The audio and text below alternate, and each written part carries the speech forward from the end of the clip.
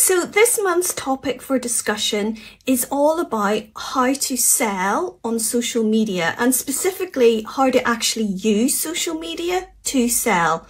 Is that something that you're doing right now? I know that a lot of the artist makers that I mentor really struggle with this. In fact, I would say that a lot of us just think that it is impossible to sell on social media. But here's the thing the way that people use social media in general has changed. If I was mentoring you a few years back, I actually would be teaching you to try to get your audience off social media and onto your website.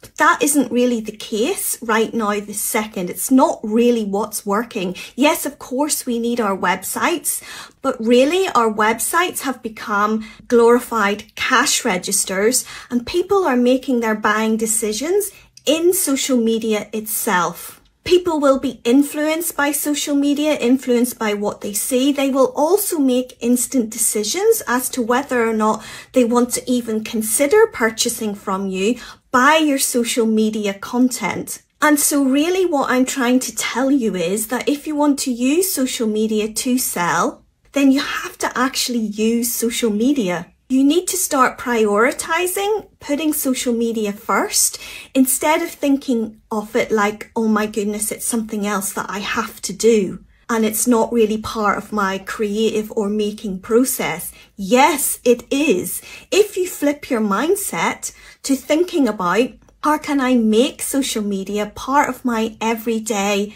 tasks, part of my everyday creative process, because Really what I'm doing is promoting myself for free. And it's only by doing this that more people are going to see us. And then from that, we will get sales. Want to chat about it?